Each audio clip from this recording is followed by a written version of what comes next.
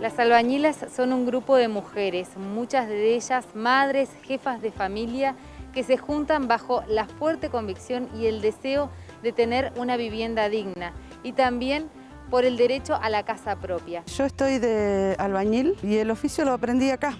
Este, como empecé como ayudando a llevar balde y eso y de a poco me fui eh, tratando de meterme un poquito más para pegar ladrillo y eso que es lo que más me gusta y por lo menos hasta ahora la casa no se cayó.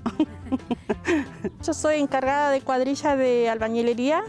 Eh, hace más o menos un mes que estamos levantando acá la cocina y un salón grande de 6 metros por 10 de, de largo y la cocina esta es de 4 por 7.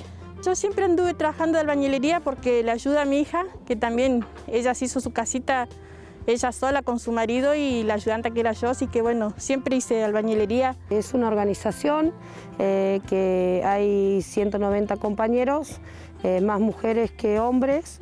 Eh, tenemos cuadrillas de albañilería, como están viendo, tenemos cuadrilla de carpintería, de costura, tenemos comedor, tenemos merendero, tenemos manualidades, eh, tenemos cuadrilla de niñez y cuando empezó esta organización, que fue más o menos, van a ser seis años, empezamos con albañilería.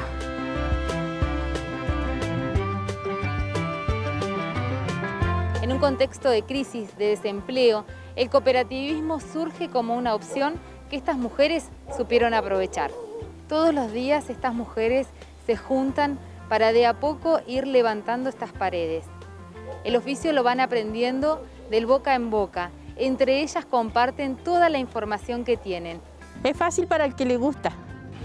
A la que no le gusta se le hace un poco difícil en sacar medida o, aprender. Pero si a vos te gusta y tenés entusiasmo en aprender, es fácil hacer albañilería. Y es lindo porque vos trabajás a tu gusto, a tu manera, no tenés quien te mande. Si tenés... Yo, por ejemplo, acá aprendí de las chicas y enseñé lo que yo sabía. No te digo que soy profesional en albañil, pero algo me defendía para ser albañil. En esta organización se trabaja mucho, se ayuda a mucha gente, no solamente a la gente que está acá en nuestra organización, sino para afuera. Entonces, eh, a mí me gusta eso, me gusta ayudar a la gente, me gusta.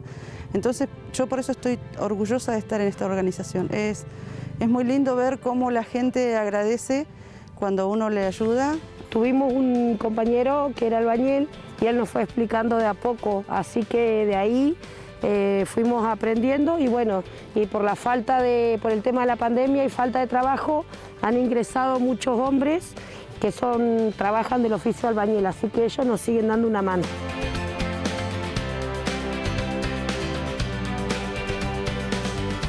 Realizan todas las tareas relacionadas a la construcción. Levantan paredes, ponen el techo, también realizan trabajos de carpintería, rompiendo los estereotipos de un oficio que generalmente lo hacen los varones. No le estoy sacando el lugar a ningún hombre, eso que lo vayan sabiendo por las dudas, ¿viste? Por ahí van a decir, ay, nos quieren sacar el lugar porque son mujeres. No es sacarle el lugar. Al contrario, si quieren venir y darle una mano... Uno se siente empoderada, es como que, ¿por qué los hombres? Las mujeres también podemos hacer muchos trabajos que hacen los hombres. O sea, la mayoría de los trabajos lo hacemos las mujeres. Eh, entonces es, muy lindo trabajar en, en cosas que mucha gente cree que no lo pueden hacer las mujeres. Todas las mujeres podemos hacer este trabajo.